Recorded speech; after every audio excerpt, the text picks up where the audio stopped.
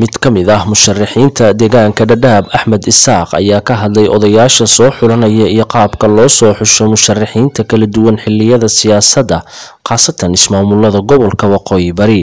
Axmed ayaa ka muujiyey walaaca barnaamijkaasi isagoo carabka ku dhuftay in qof waliba uu wato dana gaar ah.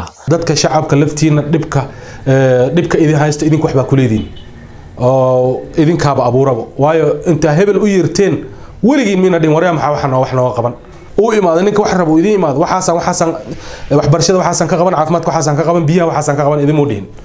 Muxuu sameeyaa? Magaaladu imaani laba oday u kala hadlaa. Labada oday wixii u daran bay sheegtaan. Idinka wax idin daran cid idin weydiiso ma laha. Marka waxaa waaye inta idinkana aawadiin hebel maanta wuu socdaa. Su'aasha aa weydiinaysa ite yaa wadaa odaygee wadaa odayaashii wataa.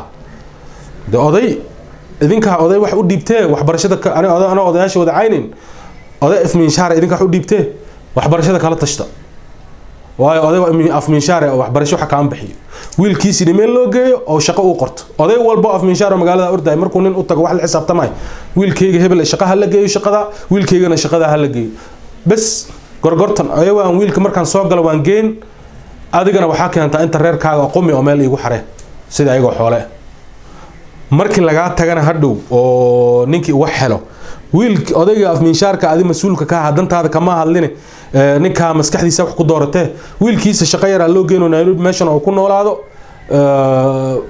waxay ninkaas nacamlayaal u noqonayaan dhibkii magaalada ka jira. Kama hadlaya afmiinshaarka afkiisu qabsan shantii sano adigana ilmahaaga waxbarasho la'aan iyo caafimaad la'aan saas u ahaanayaan waxa uu tusaale ku soo qaatay dhanka tacliinta iyo dhibaatooyinka ka jira deegaanadaasi. Waxa uu baaq u diray shacabka soomaaliyeed inay ka waantugaan odayaasha halka iyo labada ah oo danahooda u mathalaya xilli kasta oo la gaaro siyaasadda.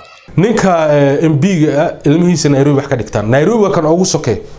Ingiriiska maraykanka kudi madaxda dhan waa taqaanin waa is wada garanayna soomaaliya ninka jooga mandheera ilaa ijaara waxbarasho la'aanta ku haysato adigaa wax ka abuuray heblo waa la wataa oday hebel iyo oday hebel odayaal culusu wataa.